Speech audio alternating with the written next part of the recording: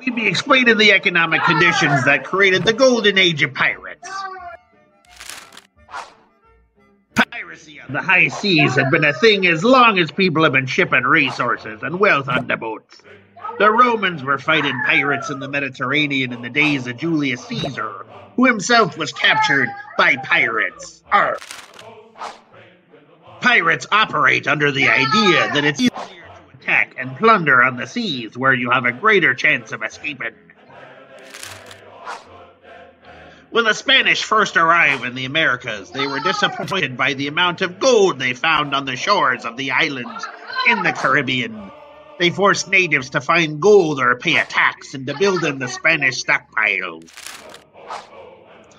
It was when the Spanish arrived on the mainland in Central and South America that the fortunes of their empire changed. Riches were abundant in the interiors. In Panama, especially, the Spanish found treasure troves of gold and precious gems. The Incan Empire became a major Spanish silver reserve, and the Aztec Empire was loaded with gold. However, native folklore inspired the explorers to search for cities of gold and fountains of youth. Cibola was the reason Coronado journeyed through Kansas and De Vaca through the Gulf Coast to search for booty.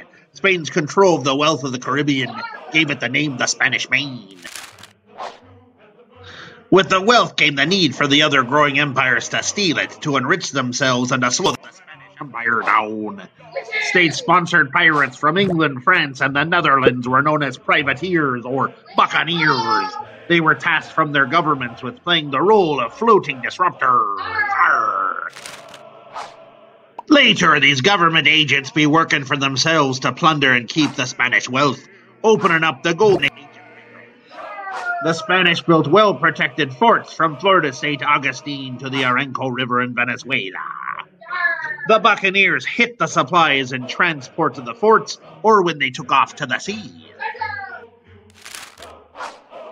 French colonies like Tortuga provided loose law enforcement and became havens of pirates.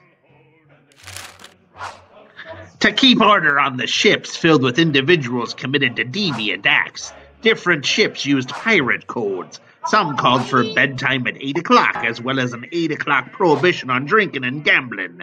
They talked to pirate honor to each other and safe behavior on a ship. They even paid out communal money for injury. Some of the most notable pirates were Henry Morgan, who used his Port Royal plantation as a launching point. Sir Francis Drake launched a devastating attack on Santo Domingo. Santo Domingo was the center of the Spanish Caribbean government in La Audiencia. Drake and his men arrived January 1st, 1586, and began a large-scale destruction, killing, burning churches, defiling all things Catholic. They demanded a ransom to leave the city, and then he moved on to Cartagena. Between 1623 and 38, the pirates hit 500 Spanish treasure ships. After peace treaties, privateering was forbidden, leading many of them to go rogue. Men like Edward Teach or Blackbeard raided colonies in the Carolinas.